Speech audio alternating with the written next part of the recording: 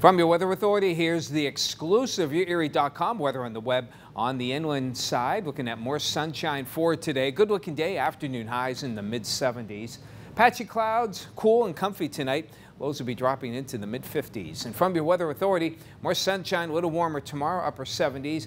Maybe a late day storm for Saturday, a little better chance on Sunday.